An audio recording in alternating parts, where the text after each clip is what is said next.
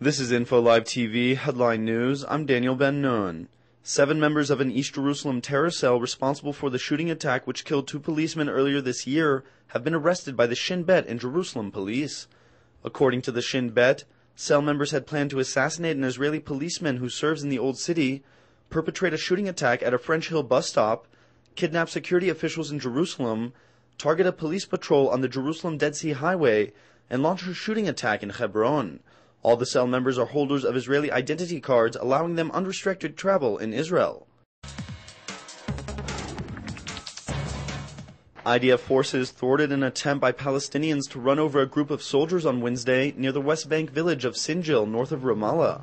No injuries or damage were reported in the incident. Four Palestinians traveling in three vehicles, including a bulldozer, broke through an army roadblock around 3 p.m. and attempted to plow the vehicles into the soldiers. The troops responded in accordance with military suspect apprehension protocol and fired in the air.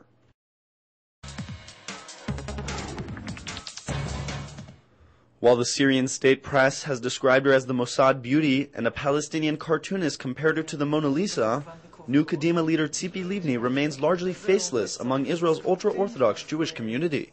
Citing concerns for feminine modesty, the Haredi community has refused to publish images of women in their newspapers, a core source of information as the reclusive community generally shuns television, internet, and most radio stations.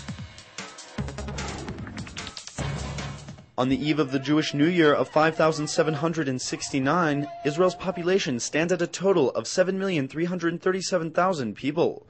5,542,000 or 75.5% are Jewish Israelis, and 1,477,000 or 20.1% are Israeli Arabs.